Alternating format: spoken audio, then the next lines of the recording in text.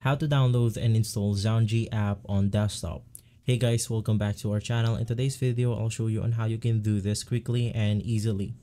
Now before we proceed, I'm going to tell you that there is no official way on downloading Zangi app on the Windows computer right here. But we are going to use an alternative method called the Android emulator.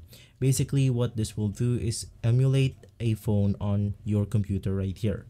To do that, you simply want to head over to a Android emulator software. I'm going to recommend LD Player right here. So you can just go ahead and search for LD Player. Click on download and from there you can just go ahead and install the software. Basically right after installing the Android emulator right here, it will go ahead and look something like this. So in here, you simply want to go ahead and log in your Google account for us to be able to access our Play Store. Once inside our Play Store, all we have to do is to go ahead and search for Zangi. And once inside, click on the Zangi private messenger. Click on install. Wait for the application to download and you should be good to go.